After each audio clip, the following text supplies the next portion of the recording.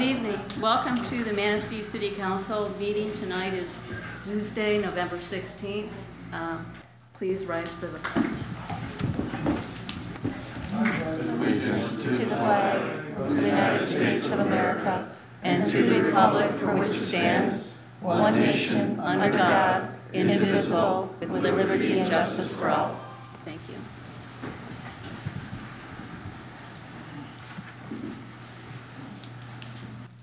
Heather, Could you please take the roll? Councilmember Bachman. Here. Mayor Beaton. Here. Councilmember Lundberg. Here. Mayor Pro Tem Sullivan. Here. Councilmember Szymanski. Here. Councilmember Grabowski. Here.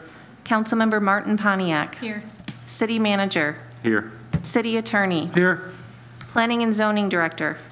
Here. Police Chief. Here. City Engineer. Here. I think that's everybody. Thank you. Uh, I'd like to make a motion to amend the agenda. For, I don't have it. To Add the Economic Development Council update under new business. under new business. Do we have a second? A second.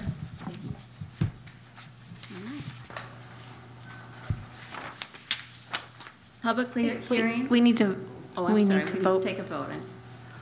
Are they- Take are the roll call vote. Councilmember Bachman. Yes. Mayor Beaton.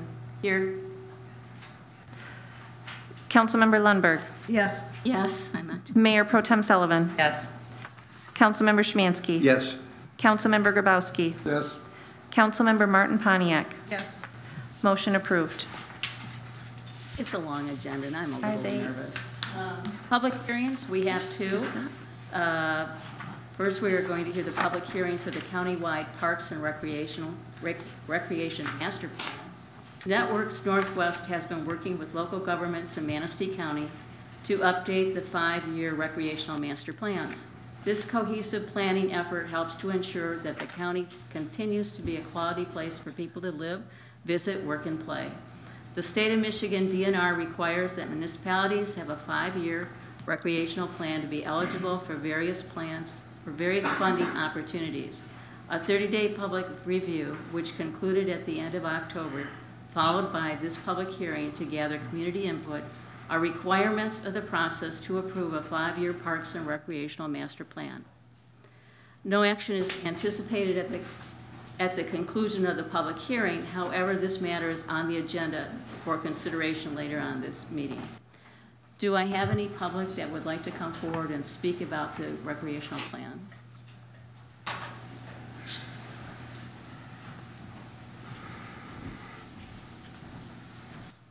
Mayor, uh, Tim O'Connor, 330 Fourth Avenue, Manistee, Michigan, also the current chair of the Manistee Parks Commission. In reading over the, um, the proposal, I would just like to add one thing I I would like to see added to that. In the very beginning, it talks about how Manistee um, is a beauty and natural wonder that abounds in the regions, forests, lakes, and rivers that remain a constant factor. It will always make Manistee a, a special place to live and visit. I think we're missing something.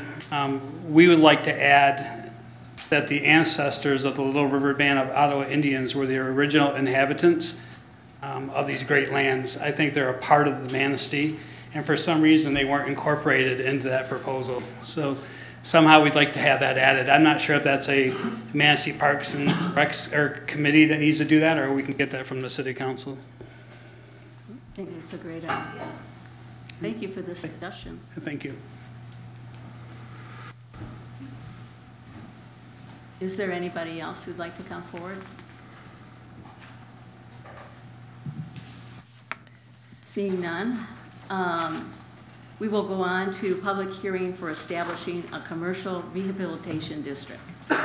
Section 207.843 of the Michigan Commercial Rehabilitation Act, Act 210 of 20, of 2005, states that a public hearing must be held prior to adopting a resolution establishing a commercial rehabilitation district.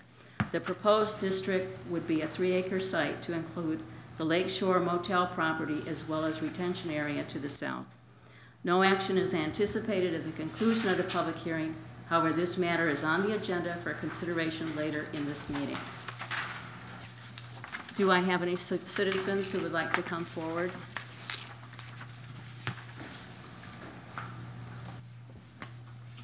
Please step forward and state your name and address. Uh, Citizens are allowed an opportunity to speak for five minutes. Thank you for your time. My name is Thomas Dame, PO Box 641 Manistee. The analysis of the application for approving a commercial rehabilitation district is deficient, illegal, and should not be approved for the following reasons. As far as I could ascertain, public notice of tonight's hearing on this application for approving a commercial rehabil- rehabilitation district was not provided the public a minimum of 10 days pursuant to Michigan Commercial Rehabilitation Act, Section 207.843, point section 3-3. Hence, the hearing does not comply with the requirements of the Commercial Rehabilitation Act. Number two, this hotel does not qualify as a qualified facility as defined in Michigan Commercial Reha- Rehabilitation Act, Section 207.842, point section 2-8. The act states a qualified facility also includes a hotel or motel that has an additional meeting or convention space that is attached to a convention and trade center that is over 250,000 square feet in size, and this is located in a county with a population of more than 1,100,000 people. Clearly, this motel property does not qualify as a qualified facility. Number three, the purpose of a commercial rehabilitation district is to rehabilitate property. The proposed rehabilitation of this property does not comport with the requirements of the Michigan Commercial Rehabilitation Act, Section 207.842, Section 2-K. The act clearly states rehabilitation means changes to a qualified facility, just talked about it, that are required to restore or modify the property together with all, with all appurtenances to an economically efficient condition. Rehabilitation includes major renovation and modification, the improvements of floor loads, correction of deficient or excessive height, excessive height, new or improved fixed building equipment, including heating, ventilation, lighting, reducing multi, reducing multi-story facilities to one or two stories, improved structural support, including foundations, improved roof structure and cover, floor replacement, improved wall placement, improved exterior and interior appearance of building, other physical changes required to restore or change the property to an economically efficient condition. Clearly, the proposed razing of the existing motel and replacing it with a much larger five to six story structure does not comport with either the requirements of Commercial Rehabilitation Act nor its intent. I understand that this purpose of this hearing is for the purpose of approving or denying an application for approving a commercial rehabilitation district. However, as many citizens have voiced their objections to this project, I would like to mo- add mine within my time for the record. Sir? Pro- Sir, five minutes is up. Thank you very much for the opportunity. Sir, can you please write your name and address on the list, please? I will give it to the clerk. This is, Thank you. thank you.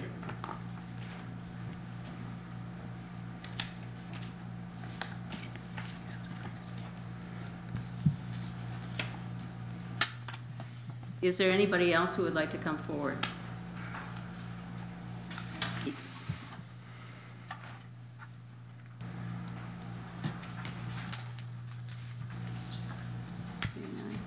Okay. I don't see anybody who wants to come forward on public hearings, so I think that uh, um, is closed. Uh, We're moving on to, I know this seems weird, but we're moving on to a citizen comments on agenda-related items. So do I have any citizens who want to comment on the agenda-related?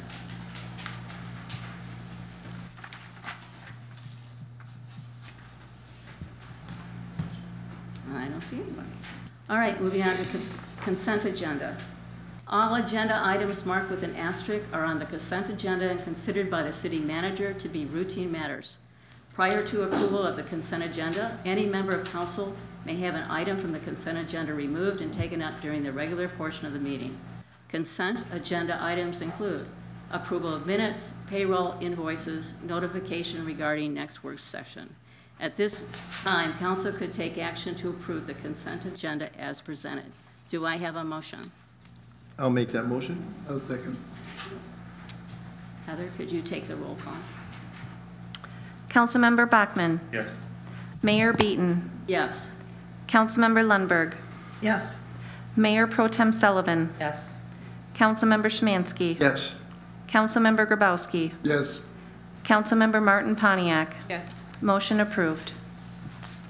Thank you.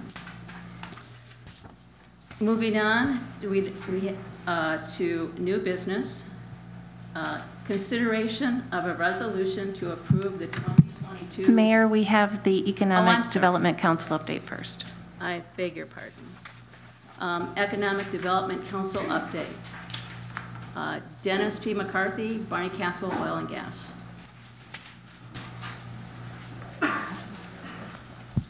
Good evening. Thanks for uh, welcoming us to the agenda today. Uh, My name is Dennis McCarthy. I'm uh, affiliated with Blarney Castle Oil and Propane here in Manistee County, and I'm also fortunate enough to be a member of the uh, Manistee County Chamber Board.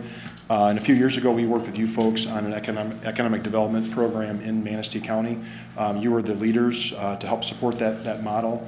Um, That model includes um, partnership in this community between uh, the city, the county, the DDA, uh, the IDC, West Shore Community College, uh, and private enterprise in the county. So thank you for your support and everything you've done to support economic, economic development in the county and specifically in the city. Uh, The partnership in this, in the state is unique, I think, in, in the county. Stacy um, from our chamber and Jeff Dons are going to talk a little more about that. But if you go to other communities in northern Michigan and in Michigan in general, um, we, we have a unique model between private business, local government, and, um, and education um, matters as well.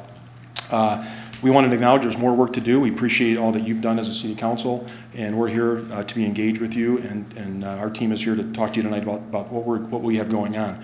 I want, I do want to point out that private enterprise has stepped up in the community and funded about fifty-six thousand dollars worth of funding toward economic development on an annual basis in, in the county.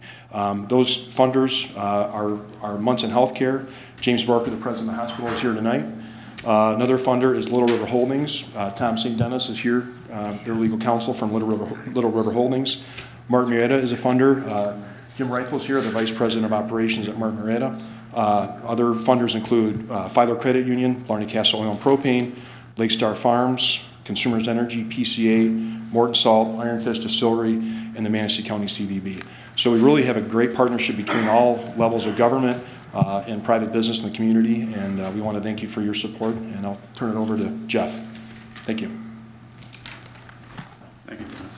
Good evening. I don't really don't have a heck of a lot to add to what Dennis had to say. It's the cooperation is, is what I think is phenomenal that separates this group from probably ones in the past. And uh, the county and city definitely are helping pave that way as well and organizing it along with the help of the chamber. And it's just, it's been a good cooperation. It's been a great cooperation. We've had a lot of projects, and we've had two extremely unique years going through the pandemic, trying to get through some of these things as well. And in the process of that, I think considering what we've, we've lived through to where we are today with the things that we have teed up, hopefully to have some great new uh, enterprises in the county and in the community. And I can tell you that from, from my perspective, we've put an extremely amount of effort into the uh, city proper, if you will. Because as the city goes, as I say, people don't really care where the boundaries are. It's the greater Manistee Lake area. And as, as that greater Manistee Lake area goes, so goes the county. So with that, I enjoy working together with everybody in this process and trying to move the community forward. And with that, I'm going to turn it back over to Stacy. So.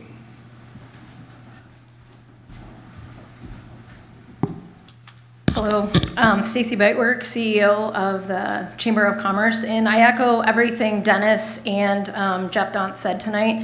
I just want to let you all know your partnership with the Chamber and the community is huge because we are being watched by the state of Michigan. We hosted um, Quentin Messer, who is the CEO of the MEDC, came to our community. We were able to take him around, show him our downtown, the opportunities and some of the challenges we've had. We also hosted Lieutenant Governor this week. And that's a big deal for us. So the state is watching us and everything we're doing, and it's our time to shine. So I think you all as leaders can help support that and what you've done and the decisions you make going forward in this community. We are one of the kind of the last um, untapped resources on the lakeshore that I really think that we have so many opportunities here for investment. There's developers that Mark and I and um, our EDC board talk to daily, and they're looking at this, but they're watching the decisions made by this council and our county and kind of what direction this community is headed. So I think to attract future investment, to attract startup businesses that are here in our community, we have an opportunity as all partners to collaborate moving forward. We have a lot of momentum going on right now. Our chamber is one of the lead chambers in the state right now. We were asked to serve um, on a panel with Traverse City, and Midland as leaders in economic development. So that's huge. So again, everyone is watching the momentum we have. So I just want to thank all of you for your support going forward and what we can do for our community in the future. So thank you. Thank you.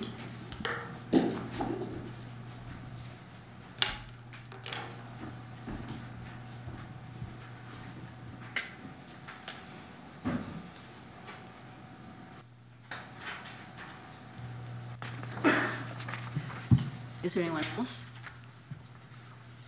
Okay, all right, thank you. That was actually item A under um, section eight. So we'll have to change the numbering system. this. Okay. Moving on now to consideration of a resolution to approve the 2022-2026 Manistee County-wide Park and Recreational Recreation Master Plan. Networks Northwest has been working with local governments in Manistee County to update our five-year recreational master plan. The- The sections that are specific to the city of Manistee include pages A through 42 through A through 46 of Appendix A and F 26 through F 29 of Appendix F. The state of Michigan DNR requires that municipalities have a current five-year recreation plan to be eligible for various funding opportunities. At this time, council could take action to adopt the City of Manistee Park and Recreation Master Plan Resolution. I'll make that motion. Or Any discussion? I would like to make sure that we add the sentence that was recommended uh, by the chairman of the Parks Commission. The ancestors of Little River Board of Ottawa Indians were the original inhabitants of these great lands. I think that's an excellent segue into the entire plan, so we might have to modify our motion here to include that. So how do we go about doing that at this time? Yeah, I would say approve the plan with, the with the following, is the stated changes. I'd make that motion. Okay. So we don't have to rescind the first motion? Are you uh, amending the previous motion? If that's what you're doing, then yes, um, if uh, Councilmember uh, Szymanski makes a motion to amend the previous motion, get support, you can vote on that and then vote on the original motion after that. Okay, So I make the motion that we amend the motion to include um, the language on our uh, indigenous people, uh, the ancestral home of the Little River Band of Ottawa Indians. Uh, They were the original inhabitants of these great lands. A second. any discussion? I'd just like to thank uh, uh, Network Northwest for, you know, spearheading this. This is, um, you know, again, if you've looked at this document, this isn't something that just came together today or yesterday. Uh, This is probably the work of years, uh, and, and it shows. I mean, it's- really is a quality document that, that is going to be something that we can use to, to enhance our parks and recreation. And as most people know, park and recreation is part of our, our uh, economic development. So uh, it all goes hand in hand. So I think it's been a great job.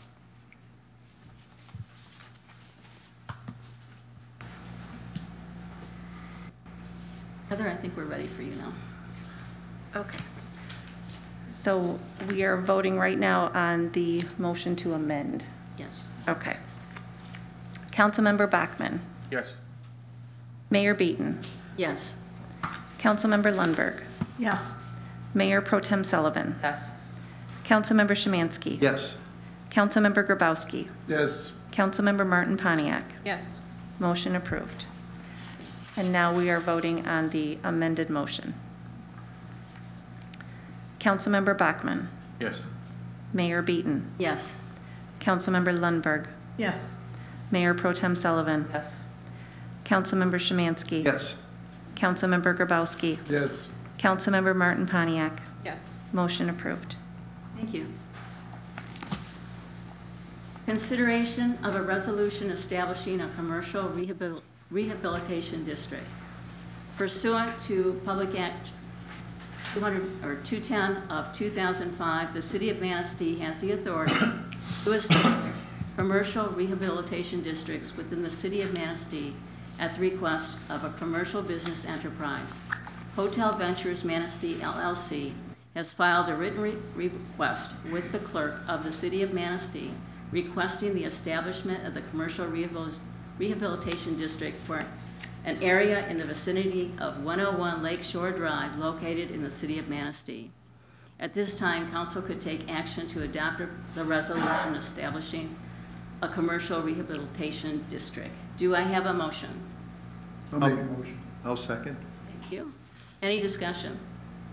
I have, I have a question. Um, Mr. Gamble, we talked about this, we talked about the footprint of the hotel. I see now in the public hearing, it added the retention basin, and now in this other piece, it says in the vicinity of the hotel. Have we expanded this whole thing now? So If one of the, why? one of the requirements is a three acre district where it has to uh, include a qualified food establishment. So we, we chose to do a three acre district, which is encompasses that retention area, but the only property that it really affects is that um, Lakeshore Motel property. Does this mean that we've committed the retention basin to turn it over to the hotel for development? Is that what we're doing here? No, it doesn't, just it's creating, that's part of the district, but it has no other effect other than it's a qualifying um, area, amount of land that's needed to create the district.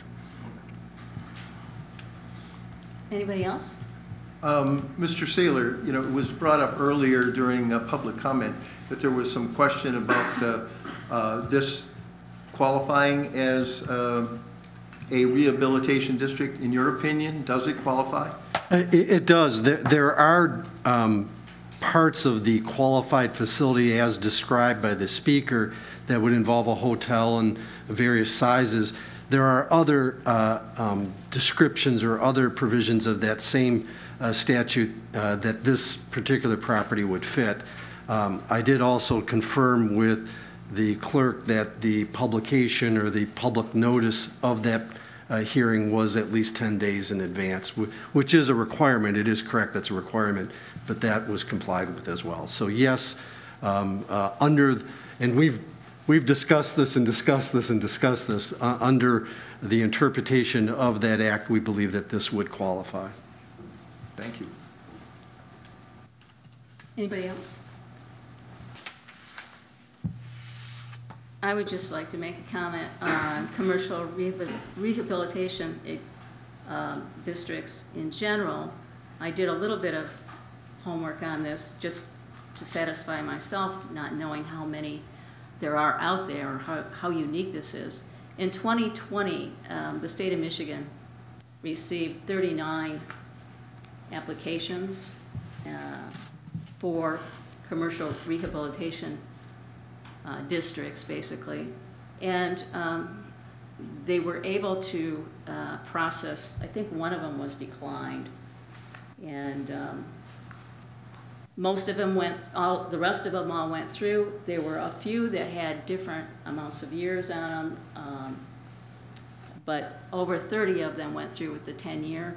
We're not voting on that tonight as far as this goes. We're just establishing the district. But it was good information to have, and it came from areas all over the state of Michigan with much, with similar type, some of them very small populations. The city of Iron Mountain probably doesn't have a very high population.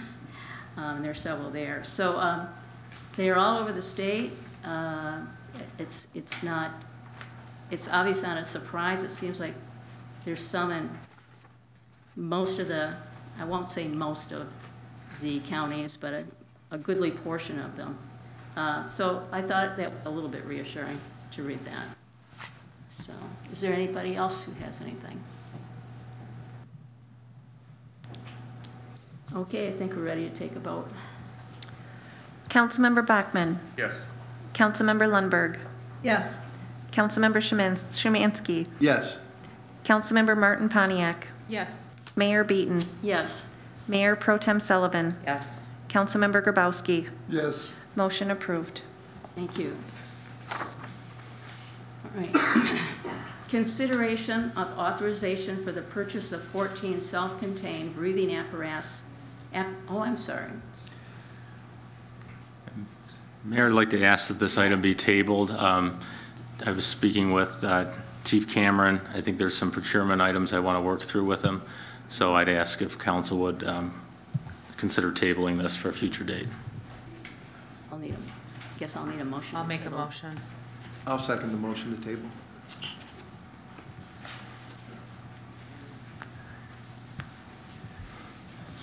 Are you tabling that to a specific meeting then? Ye- We're actually tabling it until uh, the fire chief can be at the meeting to answer questions and look at the, um, the bidding process.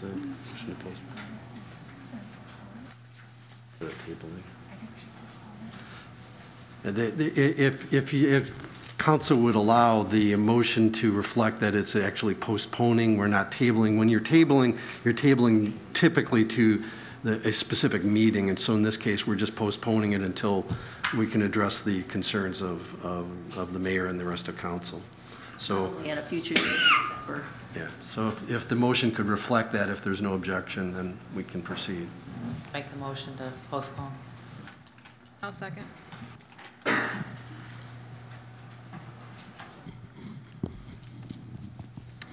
Councilmember Bachmann. Yes. Mayor Beaton. Yes. Councilmember Lundberg. Yes. Mayor Pro Tem Sullivan. Yes. Councilmember Szymanski. Yes. Councilmember Grabowski. Yes. Councilmember Martin Pontiac. Yes. Motion approved. Thank you. Consideration of ordinance 2119 to amend Chapter 863, Food Vendors of the City of Manistee, Michigan Codified Ordinances. The Downtown Development Authority requested an amendment to Chapter 863, Food Vendor Ordinance, to allow for short-term food truck opportunities in the downtown district. As an ordinance, two separate readings are required. If this ordinance is introduced at this time, it could be adopted at the next regular meeting. At this time, council could take action to introduce ordinance 21-19, amending Chapter 863, Food Vendors. Do I have a motion? I'll make a motion. I'll second.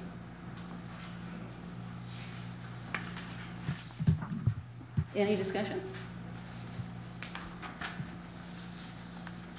I think it's a good idea. Yep.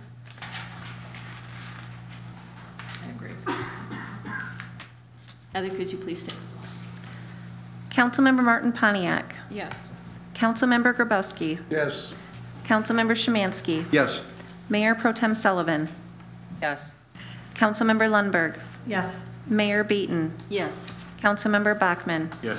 Motion approved. thank you. Notices, communications, and announcements. A report from the Peg Commission and Economic Development. A regular part of each council meeting is a report from a cooperating agency, organization, or department. Is Barry Lynn here? At this time, Mr. Barry Lynn will report on the activities of the Peg Commission and respond to any questions the council may have regarding their activities.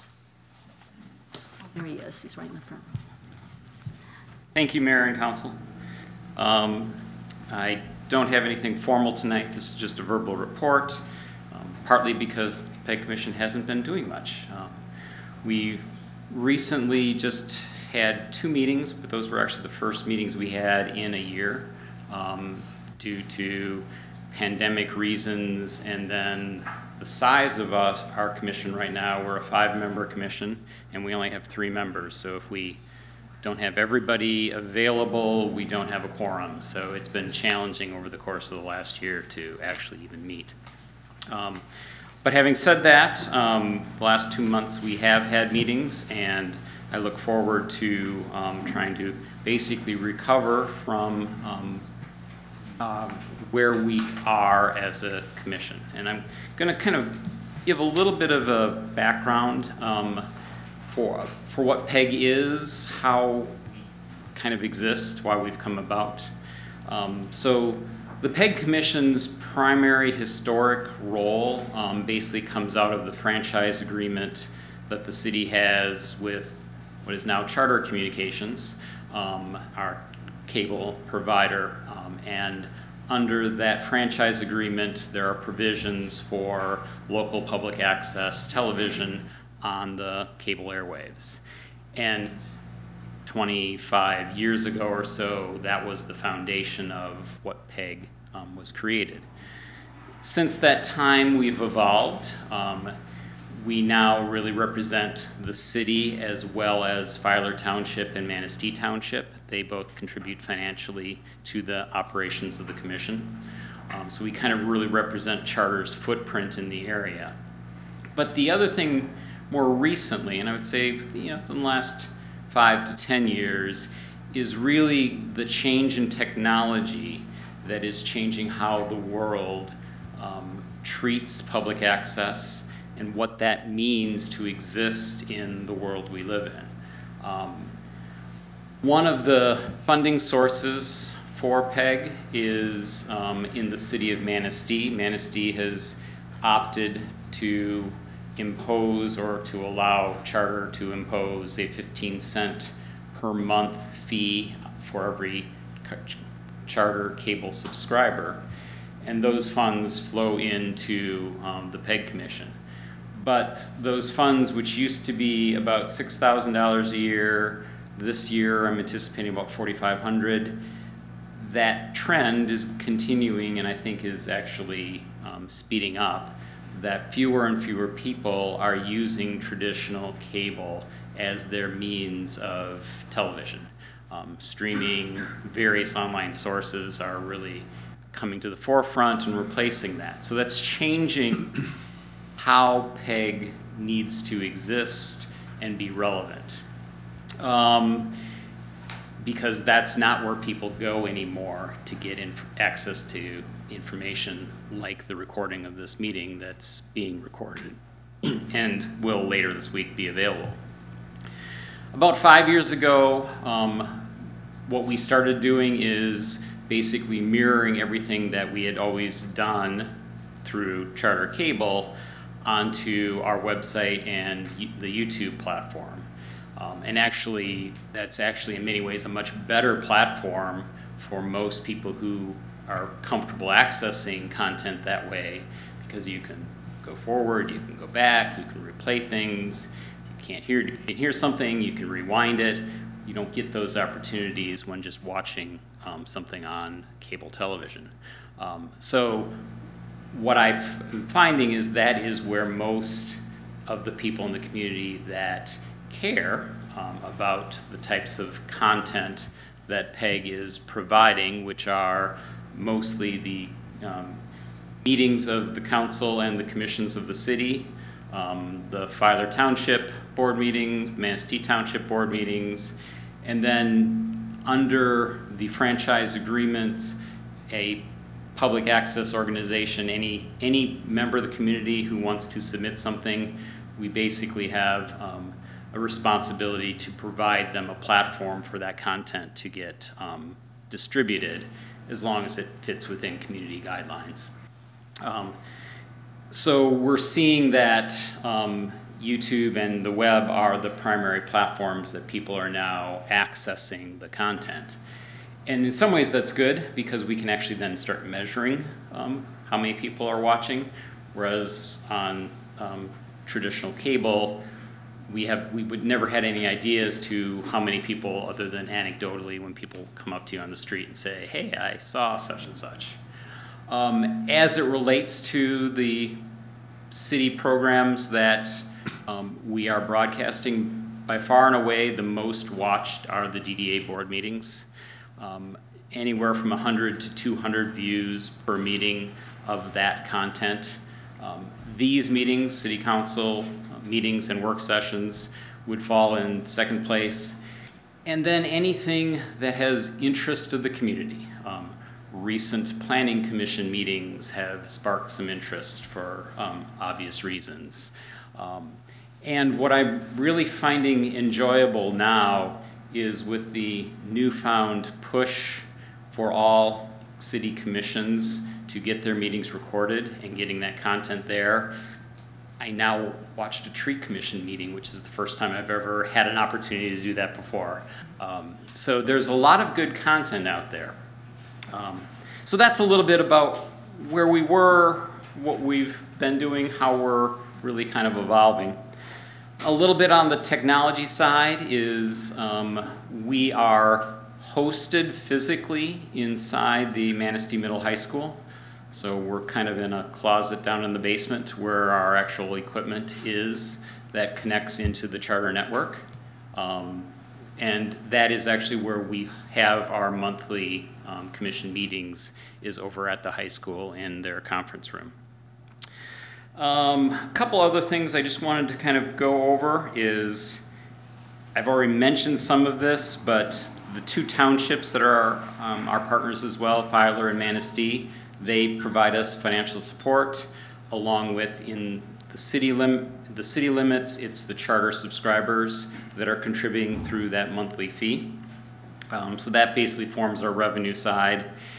And realistically, for the last year plus, our expenses have been minimal um, because I'm volunteering my time. So I'm, I serve as the um, chair of the commission, but I'm also the acting director. So I've been volunteering my time to do the weekly and daily work that's necessary to keep things online.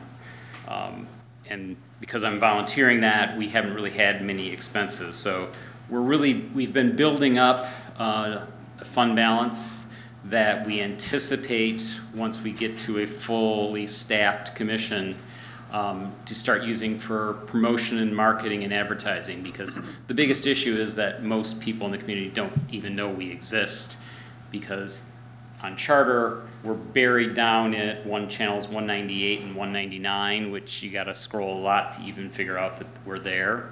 Um, and on youtube or our website if you don't know it exists you don't know to go look, looking for it. A um, couple other things is we started a strategic planning process probably about four years ago, and just before the pandemic hit, that was kind of wrapping up, and the board basically had action items to go and basically start engaging with different organizations within the community to kind of gather some input and really kind of set then direction. That's all been placed on hold throughout the pandemic. But one of the areas where that had started, um, and I think has shown fruit, is um, just before the pandemic hit, I was having monthly meetings with the News Advocate. Because as an organization, they're financially strapped. They don't have the resources that news organizations used to have to send reporters to every meeting that might happen in the area. And they really can benefit from the fact that if the content gets timely posted up onto YouTube, that they don't have to physically leave the office. They can basically review that video content and write their story. Or if they miss something that a meeting that they were at, they can go back and kind of replay it and get that. So, and they've been doing us a favor by in articles that they produce that you know, rely on our content. They usually give us um, some credit on that, so that's kind of an informal form of advertising that gets our name out there. So those are what those are the things we've been doing. Um, we just need really a fully staffed commission. I've been tapping all of my friends, and I haven't been able to get anyone convinced yet that they want to join this little venture. So, any questions? I have a couple questions. A long time ago, when I first moved up here, that was about 20 years ago, there was a, Channel 11 was the real estate channel. Mm-hmm. And it's, and everybody who, who came up here, stayed at a hotel, was able to watch real estate ads for listings. Um, I don't know if it's time to resurrect that in a more modern approach, um, if that would be helpful. And I don't know if the one realtor that we have. I don't know. If real estate community wanted to have a discussion about that, I'd be more than happy It to was cer- very brainstorm with them on, on, you know, ideas along those lines. Um, So, yeah, Um, I think anything, you know, obviously, we should be using the airspace if we have it, right? yep. So it seems to me it would be prudent to put all kinds of things on there, Mm-hmm. you know, community development, what's going on. And I mentioned it earlier on, on charter, we're on one eighty-eight and, or one ninety-eight, one ninety-nine. We actually have two channels. Right now, we're just showing the same content on each, but, you know, we could double, triple the amount of content, because we, we have space for it to be broadcast. We just don't have the content right now. And, and anybody who could take a decent video could, you know, with their, Yep. even their Doesn't cell take a phone, lot. submit. Cell phones, I mean, are, the camera quality on cell phones are amazing What these about days. getting the schools involved, getting the high school kids to show their stuff on the, on the video? You got an Um, empty channel. Yep, I've, I've had those conversations, and so far the, the school system has not wanted to, for a variety of reasons, to commit to doing anything along those lines, but Okay. Any other council members have something for Barry? Did, uh, is there any possibility of the PEG taking up um, a broader view with the internet and with uh, satellite television? Or is it just too hard to get there? it's really too hard to get there um, without significant um, dollars to, to do that.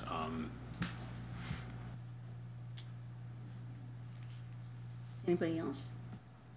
Who, who, who does upload the, mo- the meetings? It's not you, it's somebody else, somebody else uploads them? um, right now, I'm getting them from Heather. um, Okay, and then you upload them? Yes. Okay. So she delivers them to me, and then I basically do the stuff on the back end to get them shown.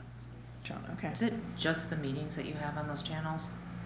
Um, I mean, again, anything that's provided to us, so we have a couple local churches that have their services available.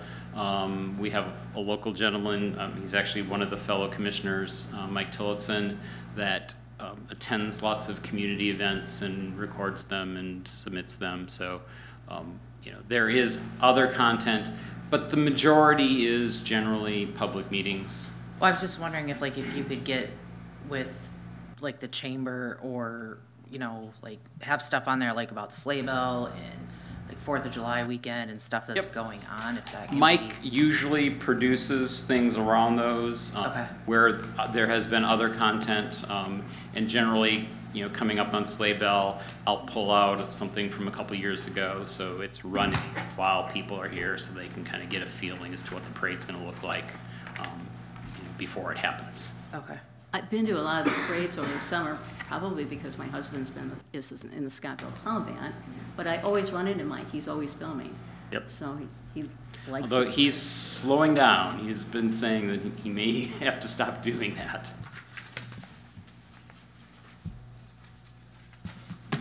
Well, thank you so much for your presentation, Thank you. very informative.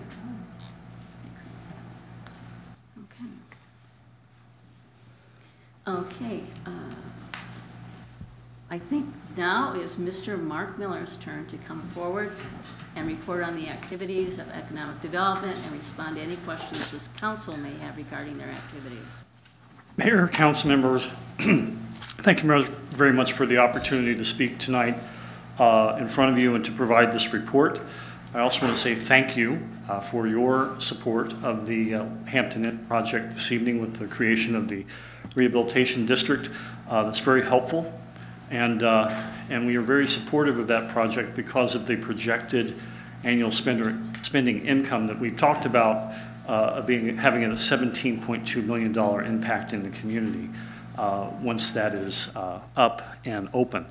Uh, So thank you for that and for your continued support. Um, Just to reiterate very quickly and briefly, that um, the Chamber's role uh, uh, is as the economic development organization for the county. Our role is to make business easier uh, for, uh, for new investment, uh, for new development, for existing businesses, for expanding businesses, um, and to retain those businesses and, and jobs that we have in our county. Uh, things have been going very well with, with the work, and I can report that in the last three to four months, we've had an increase in our work and uh, cooperation with the development partners for the Gateway Project. Uh, so that's been something in the last quarter that has increased and has been very positive. Um, we also, uh, as part of that, have been maintaining our twice a month status calls uh, to keep things moving. Um, and uh, we'll continue to uh, have conversations with the development partners uh, moving forward with assistance on their key milestones. We also, as Stacy Bytwork have said, have had some very high-level contacts in the last several weeks uh, that highlight uh, the work that we're doing and the potential for state assistance. Uh, to have the MEDC CEO and the Lieutenant Governor here to talk about our economic development program, the projects and the potential for growth and for jobs has been, uh, has been tremendous. Um, part of the work that we've done in the last uh, several months has been to, uh, in, uh, to launch our economic development portion of the Chamber website. Uh, we also have been working on communications, information packets for developers and for VIPs like the Lieutenant Governor. Uh, you have an example of that on your desk. Uh, but we have been uh, working on those marketing tools as a team, and uh, it's been very positively received. And we've been using those materials uh, from uh, for developers as well as for new entrepreneurs. So we had uh, conversations even today where we referred them to the resources on the website. you can find that at manisteechamber.com to peruse around, but we have segments there for entrepreneurs, for developers, and, uh, and also information on the communities uh, and information. So all the things that you would see in an economic development program to promote the area and to recruit business and investment uh, is on that website. Um, our business and retention, uh, business retention expansive visits have been uh, going very well. We've had 19 in the last four months. Um, we're hearing a number of things from different sectors. we have business expansion in the county for for manufacturing jobs. We've heard that a couple times and been offering support for those for those manufacturers. We also have uh, helped on the other end of the spectrum brand new startups that you know some businesses do not survive their first year. So we've been focusing on some of the new businesses, especially in downtown Manistee, to help them with with their information there. Uh, so that is going very well, and we will continue to uh, work through that. Uh, you have been receiving monthly and, uh, and the quarterly report as well, which also in the packet. Um, uh, information that we can provide to you so that you're aware of what those visits look like and what some of the issues are that are coming up.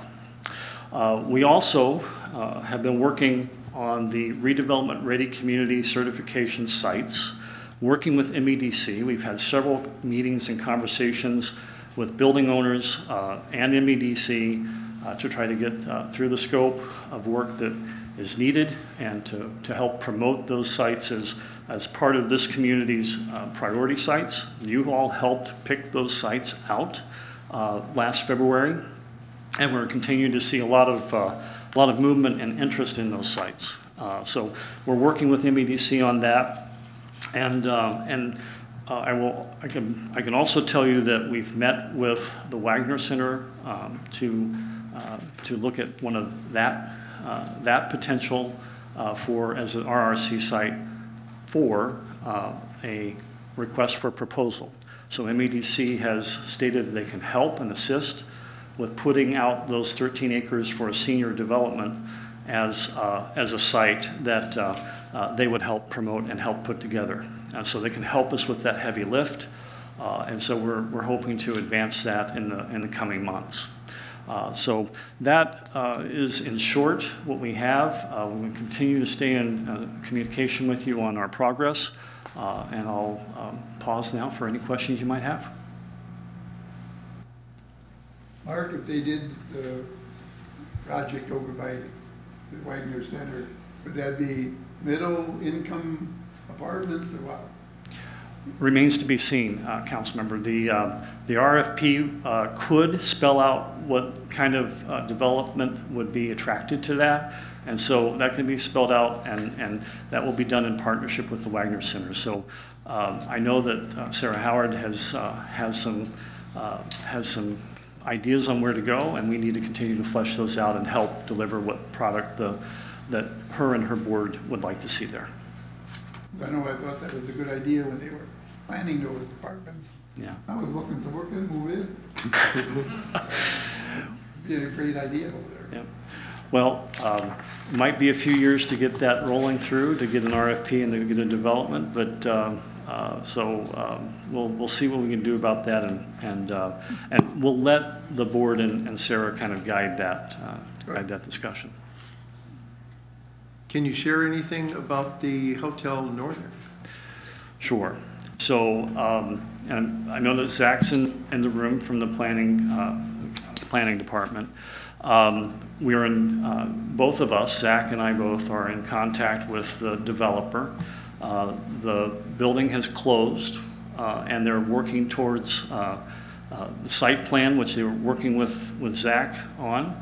And, they are, kind of piecing together what their next steps might be. And so we're in this early discussion with them on a, on a project that will include a mixed-use, commercial and residential development.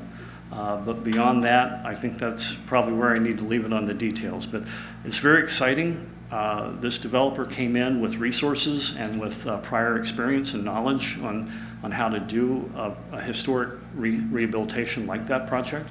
Uh, So uh, anticipating some really great things and some uh, exciting um, exciting uh, product at the end of it. But uh, we're, as a county, as a community, we're attracting that type of investor.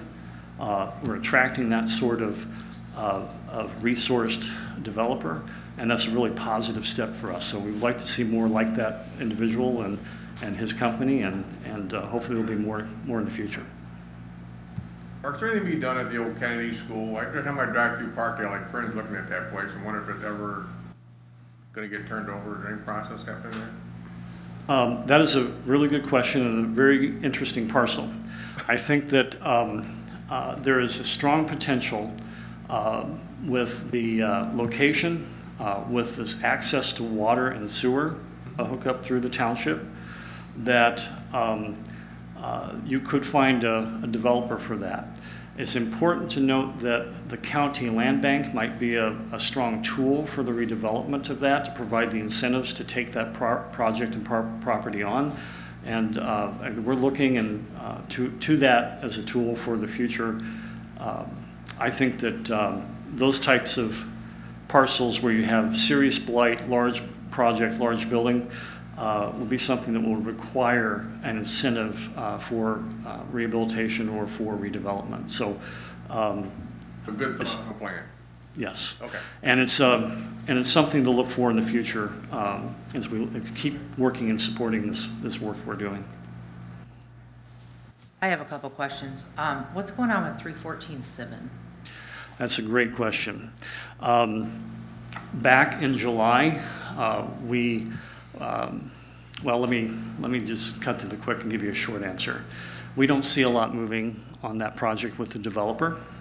Um, And uh, city staff and myself have all uh, tried to assist uh, the developer with that project. Um, But we haven't seen any city, uh, any plans for development that have gone into, uh, to Zach at county, um, county planning department or city zoning uh, administrator. Nothing is moving on that. Does he not, is there not a time frame on that? Is it just like open-ended? I can't remember what his plans were when he brought it up. And I know it's switched a few times on what he wanted to do, but I'm just wondering if there's like a time frame that you can, we can rescind that. Yeah. So, uh, city council uh, has the ability to, um, to rescind that after a period of time if there's no, uh, if there's no progress. And so we've had discussions uh, as recently as this morning um, about what to do with that particular issue. Um, And um, I'll let Bill kind of, Bill has kind of the next step, so if you, Yeah, I think just establishing a deadline, things like that. I think the assessor talked about this next year. It'll still, it still has to have that um, incentive in, but then the next, the next year can be in question. And it is about the city having a policy for things like this. If we don't see movement, being able to have a policy to say, We Have a policy right now? I think, I think we're working on one, and I think we can set up deadlines, and that's, that's what we're talking about this morning, is kind of making sure we're, cons- we're consistent, and we, um, I don't think we've had one quite like this where it's not moving. So I think it's important to, to, s- yeah, we're gonna be looking at this one closely and setting up deadlines. Yeah, I think we need to give him a deadline, like if he can't get it together, like it needs to be resolved. And may I just add one more thing, Councilmember, that um, back in July, uh, and it's on this report here in very vague terms, but um, the chamber pulled together city staff and the developer to try to uh, uh, encourage him to focus on uh, what was needed, and we had a, a very good meeting. Uh, The city assessor delivered a very stern message that you needed to make progress. Um, And so, uh, but, but here we are now, it's November, uh, and, uh, you know, I think that, um, you know, another message needs to be delivered. Okay. Thank you. Um, And I just have one more question about the, um, under your bottom line, like the contacts, like what exactly is that? Like, who does that pertain to? Okay. Um, The, the contacts are going to be any developer, entrepreneur, um, any uh, business owner that has come in with something um, serious, beyond, you know, a business retention question or, or need for assistance. Uh, So it's kind of everything uh, segregated out by, by our geographic area because you want to know where we're working with in terms of downtown versus the city, and the county also needs to know those numbers. So we're lumping all of those in uh, for a metric on the number of times that we have contact with an entrepreneur, a business owner, or a developer. Okay.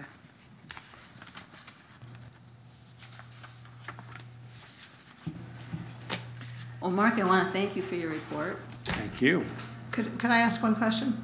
I was just reading this first part here. Can you explain to me when it says that you were a certified redevelopment-ready community? What qualifies us, what, what are the criteria for be, being a certified redevelopment? The- So this is a program under the Michigan Economic Development Corporation. Mhm. And in order to be certified, uh, you have to uh, follow certain zoning practices and, uh, and be able to uh, demonstrate uh, that you can work with developments, work with developers in certain areas. Uh, The certification took place, I believe, uh, uh, several, more than, more than several years ago. Um, uh, believe uh, five years ago, but I'm not entirely sure of that. Uh, But we have been uh, working on recertifying um, uh, every year with reporting that the county planning department does along with the chamber and the city. And um, we also keep the priority sites updated and go back to city council and boards and commissions to help select those as required under the program. So we're in good standing at the moment.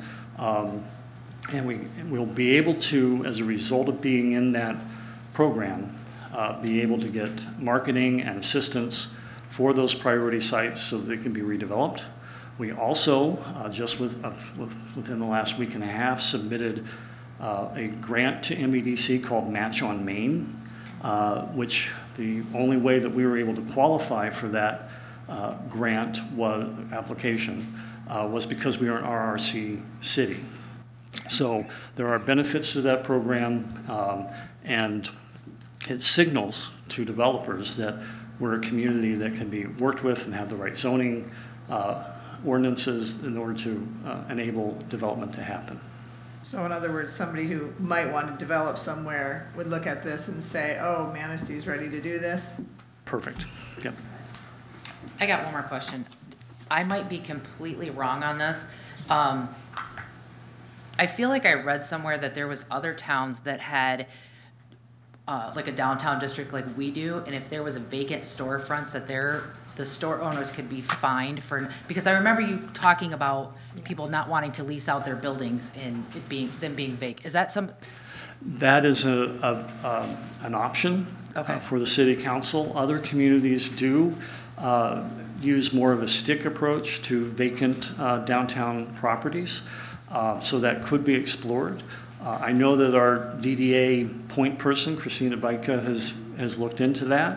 Um, And um, I believe we, we might have had some other conversations there, but uh, that is something the city council could do um, to help uh, move uh, some of those vacant or underutilized um, buildings along. So, um, but I'd have, in order to speak on it uh, confidently, uh, we might need Christina to come up, but that would be something we can explore and, and talk to, talk to you all about in the future. Well, I'm just, uh, yeah, I Yeah. think it would be something to talk about since a lot of those buildings have been vacant for Yeah. a very long time. And we have a lot of interest. Um, There is interest in the uh, downtown. We uh, struggled all of last year uh, with about six different uh, entrepreneurs looking for space, and for a variety of reasons, couldn't find it or locate it. Joanne Snee is a great example, uh, Purple Paintbrush. She's just about to open, but she looked uh, for a number of months to find something that was suitable and just, just had a very difficult time. Uh, But thankfully, she's about to open and, and is downtown. But um, and we've also um, you know directed uh, these entrepreneurs to many of the building owners, uh, and just it's very difficult to, to do that. But if we had a few more spaces, uh, the ones that are underutilized, that might be something that would really help um, uh, with the uh, with our goals of, of utilizing and having a vibrant downtown. Okay.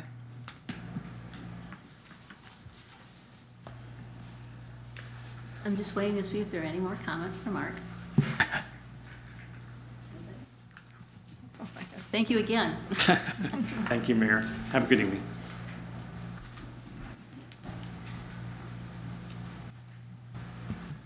Citizens' comment.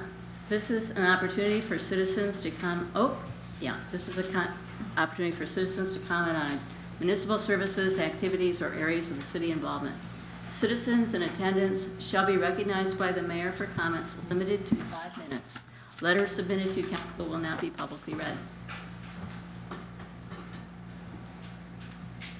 If you have a comment, you may step to the podium, state your name and address. Not seeing.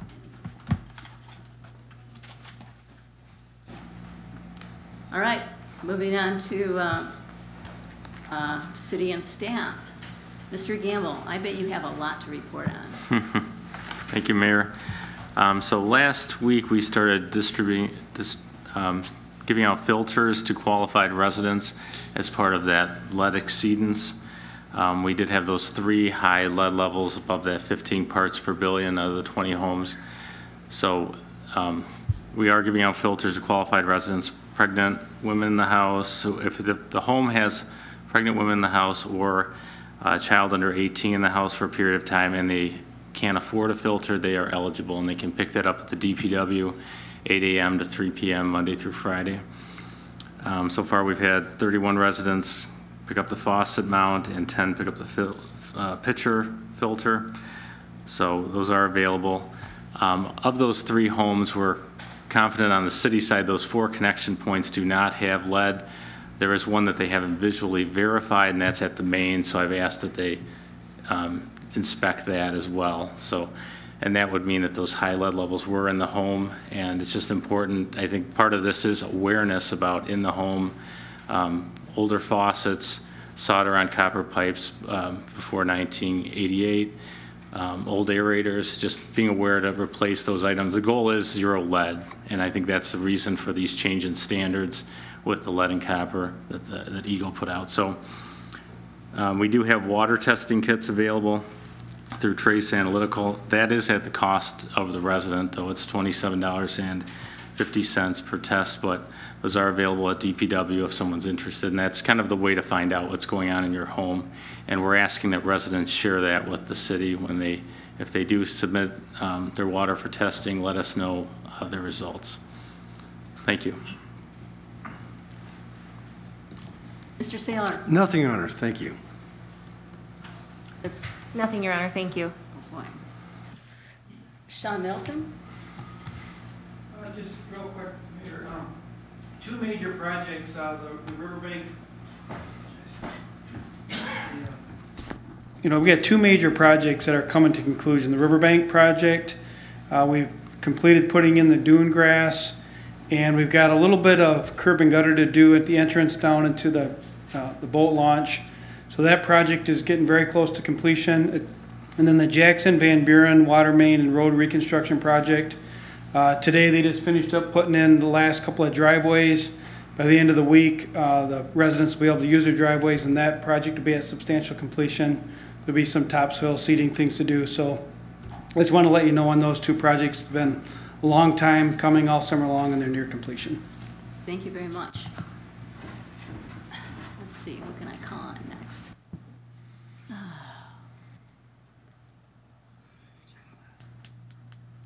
Chief Glass? I don't have anything, Your Honor, thank you. Did I get everybody on that? Who's here? Okay, let's see. Mark Secola, Mike Secola, any department, and Zach, you guys want to come up together? Okay. Well, I- I've got one for you, and Mike has one for you all- as well. Um, I included a memo for you guys. Um, It's just kind of an update from the Planning Commission. I just wanted to make sure you guys knew that it didn't die on the table. We did, I did have the, the Planning Commission look at the RV and boat ordinance and the parking and everything.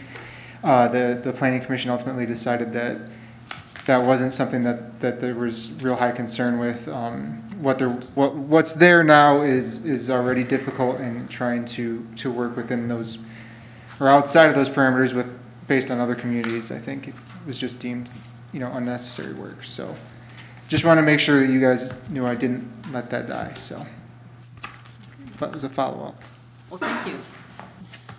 Do you think we need to do anything further with that issue? For them? Oh, that's different.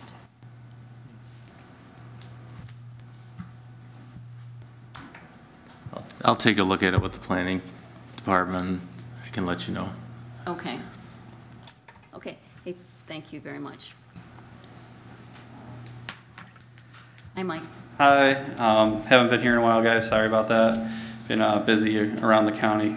Um, so I just wanted to give uh, a real quick. Um, I know you guys kind of um, were asking about the RRC program. Um, you guys were actually recertified last year um, in January 31st of 2020. It's good for five years. Um, you're recertified out at, to 2025. There's two different levels within the RRC program. You guys are actually recertified at the higher level. Um, there's an RRC 2.0 um, rolling out quickly with additional requirements. Um, there's two different levels, and I don't know them off the top of my head. The lower one was actually um, requested from rural communities um, because they felt that the requirements of the whole RRC program were too much.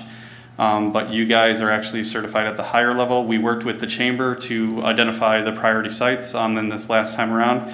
Um, it's something that we have to do every year. I anticipate a um, us working uh, more frequently together as more economic uh, development uh, related activities are within that um, RC program.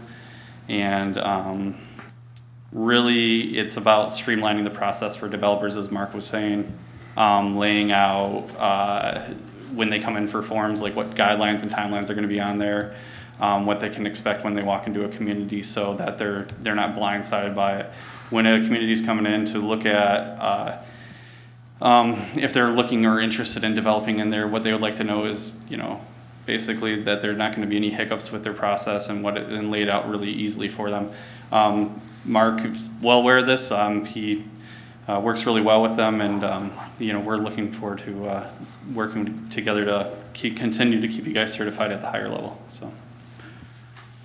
I, I have a question for you. Yep. Um, Mr. Gabrowski was talking about the old Kennedy School. Mhm. Is that something that you can contact the the owner, I mean, the roof is blowing off that, they're just gonna let it just keep deteriorating? Yeah, I mean, um, so that's outside of, uh, an area that we provide zoning services for, but there was a brownfield agreement, um, that was signed initially, and there was some contact with us about, uh, re-upping that, um, agreement.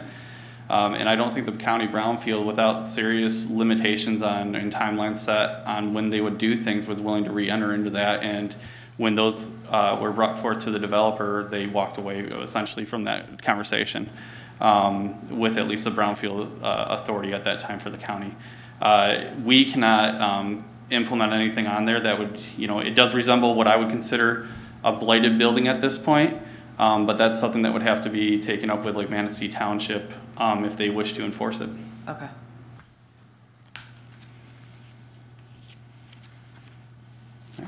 Right. Thanks, guys. Thank you.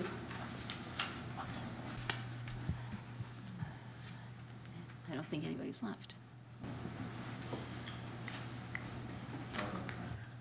Nothing for you, Dave? No, ma'am. Okay.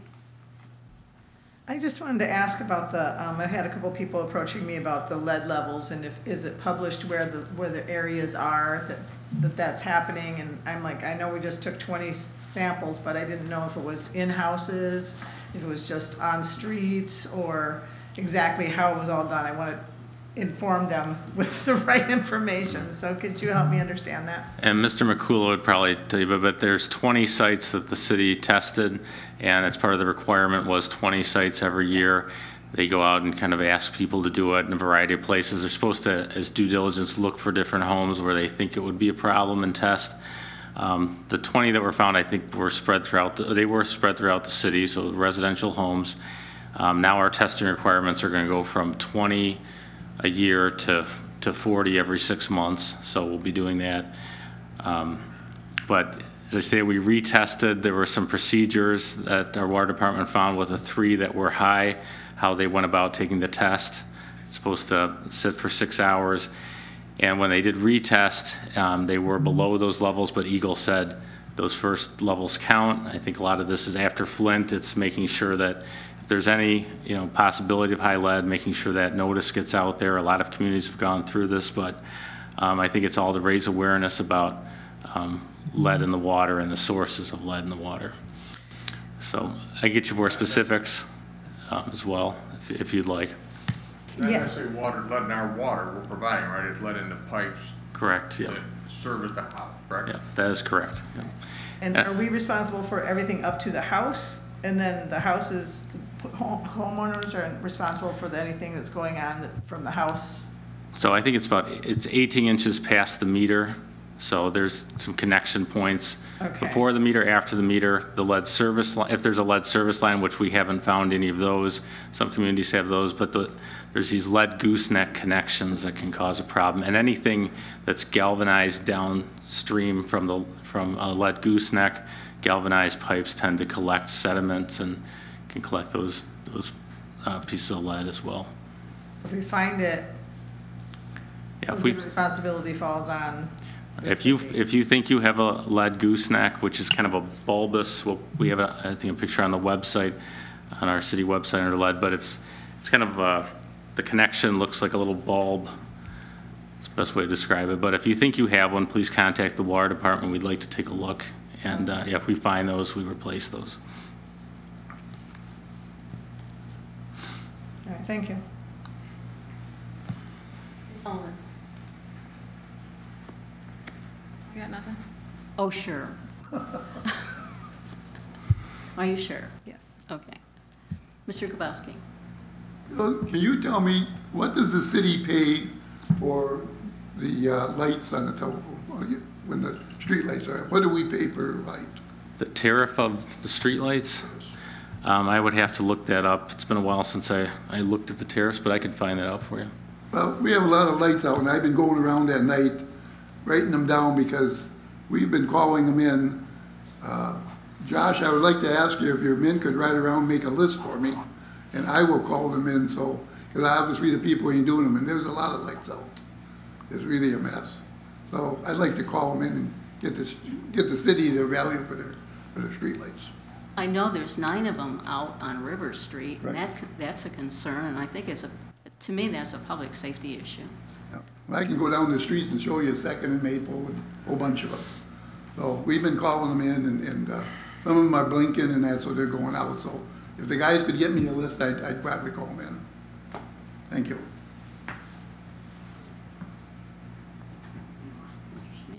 Uh, I'm just wondering, is there a last call uh, dates set up for leaf pickup? And if so, if we could uh, put something out. I see they did a good job and they got all the streets cleared up and then we had, you know, snow and now we've got basically yards and the streets are full again. So just wondering when we could publish the next uh, date. Uh, Or if, or if the homeowner's responsible now for gathering them up and putting them in bags, uh, just so that we can let people know.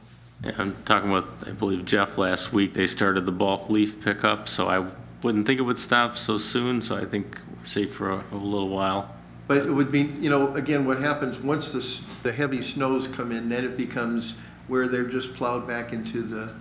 Last year we had this mess. So just, if we could just let people know that, hey, it- you know, uh, if you get your, your leaves out by this time, we'll take care of it, uh, kind of thing. And then after that, you're on your own and you need to be bagging them up and, and taking care of them yourself after such a date, if that would be helpful, because, um, mean, some people won't, but a lot of people will if they know that nobody's gonna come and gather them. We'll, we'll post that on the website and on Facebook. That's good, thank you. And then the other one is, we talked about a reservation system for parks.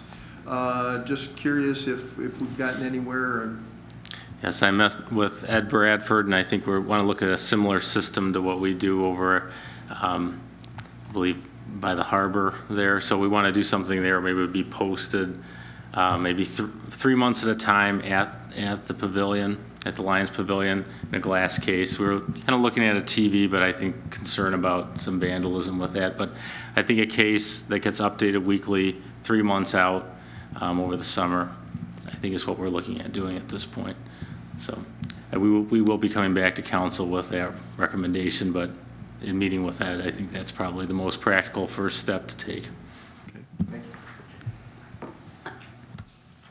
My uh, question for the evening is, are the restrooms, the public restrooms being locked up at night? What time do they get locked up? They are, they are, they do lock up at night. I think they have the self-locking, and I believe, I think it's probably seven or eight, but I'd have to confirm with Mr. McCula. Okay, and that's on all parks like Duffy Park and Rietz Park? I believe so. We have automatic locks there.